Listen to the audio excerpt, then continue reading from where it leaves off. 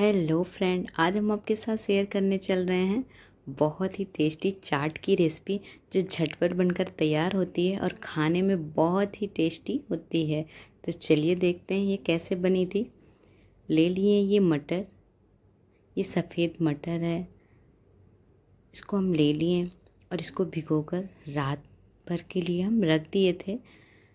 बस इसको कुकर में डालेंगे और और ये मटर हम बहुत इजी तरीके से बनाएँगे, जो झटपट बनकर तैयार हो जाएगी।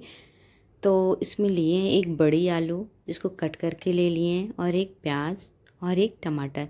इन सबको कट करके रख, ले लिए हैं।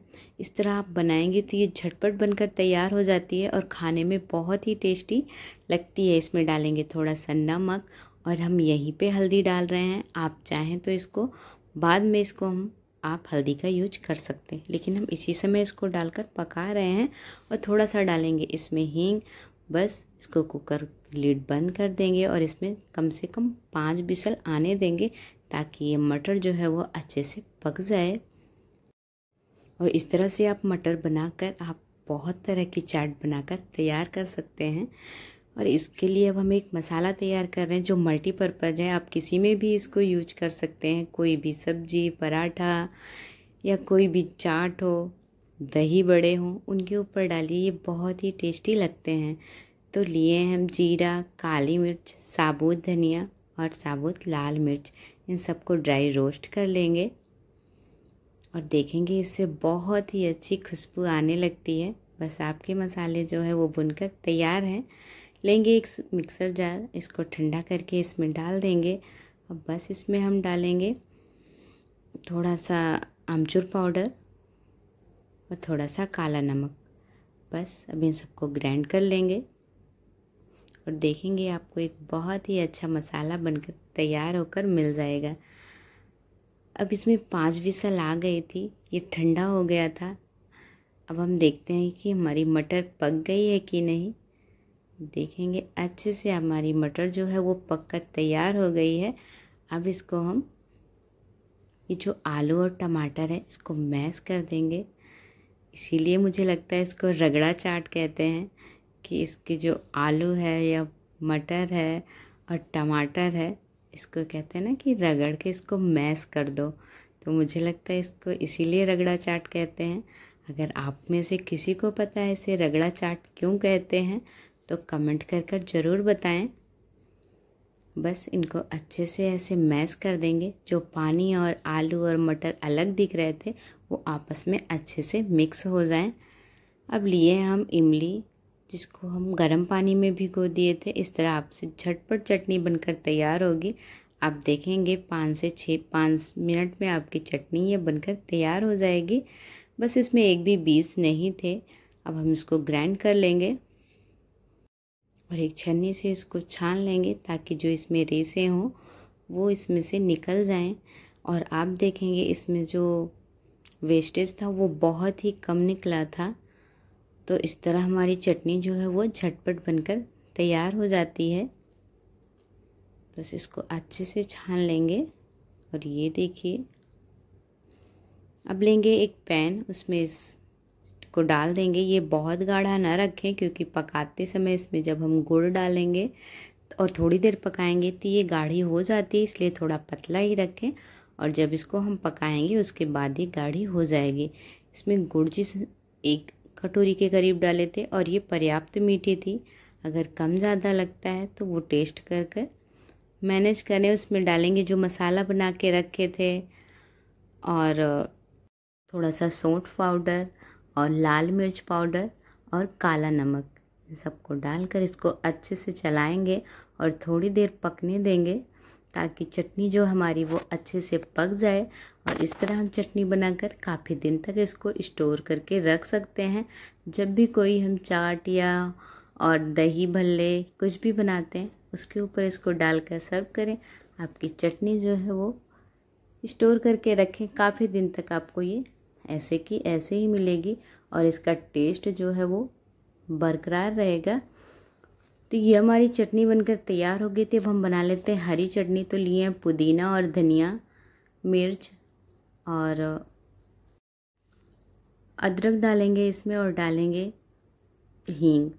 थोड़ा सा डालेंगे इसमें नींबू का जूस और बस इसको हम चटनी चटनी बना लेंगे। और फ्रेंड, आप चैनल पर नए हो तो प्लीज़ चैनल को लाइक, शेयर और सब्सक्राइब ज़रूर करें। अगर आज आपको ये चाट पसंद आती है तो ये वीडियो लाइक, शेयर और सब्सक्राइब कर कर ज़रूर जाएँ और कमेंट करके बताएँ कि आपने अगर इसको बनाया तो ये आपको कैसी लगी या देखने में ये कैसी लग रही है। बस हमारी चटनी बनकर तैयार है। अब हम चलिए अपनी मटर या छोले, कुछ भी बोलिए, उसको बना लेते हैं।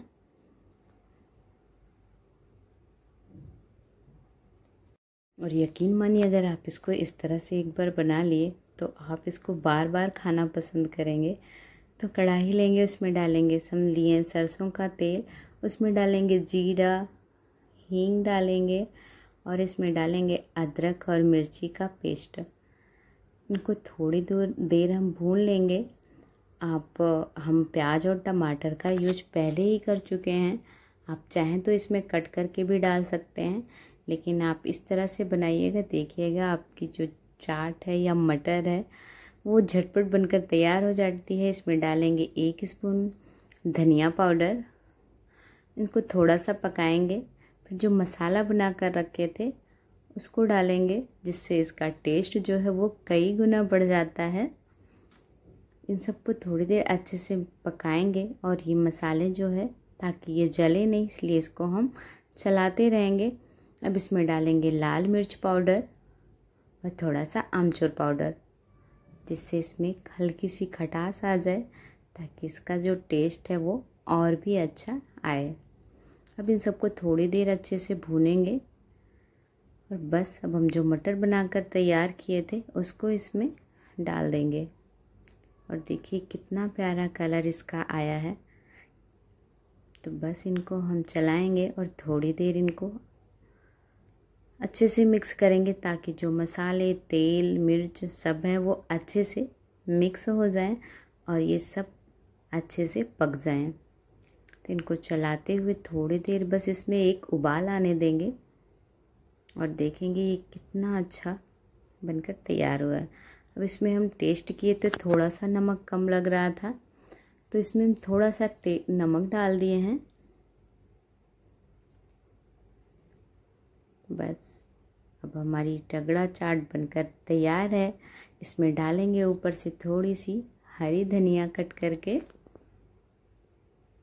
ये देखिए। अब इसमें उबाल भी आने लगी है। बस इसको दो से तीन मिनट हम और पकाएँगे। और ये देखिए, और बिल्कुल आपकी चाट बनकर तैयार हो गई है। तो चलिए अब पेट लगा लेते हैं। तो ये रही हमारी मटर। या छोले बोलिए। उसके ऊपर से इसके ऊपर डालेंगे थोड़ी सी दही, जिसमें हम चीनी डालकर थोड़ा सा फेंट कर इसको रख लिए थे। डालेंगे इमली की चटनी। चटनी आपको जिस हिसाब से खट्टी मिट्टी जो पसंद हो वो यूज़ करें। ऊपर से डालें हरी चटनी।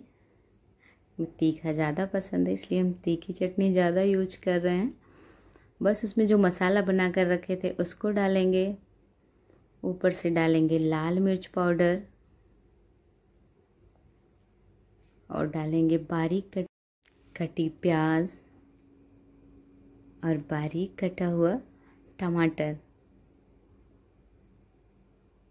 और देखिए ये चाट देखने में कितनी अच्छी लग रही है। अब आपके पास अगर पापड़ी हो तो पापड़ी, पापड़ हो कोई या चिप्स हो, उसको इस पर थोड़ा सा क्रश करके डाल दें और ऊपर से डालेंगे हरी धनिया।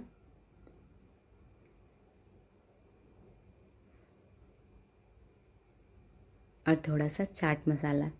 बस, हमारी रगड़ा चाट बनकर तैयार है। और तो ये लीजिए, खाकर बताइए कैसी है। तो खाओ पियो एंजॉय करो और चैनल को सब्सक्राइब कर कर ज़रूर जाएँ।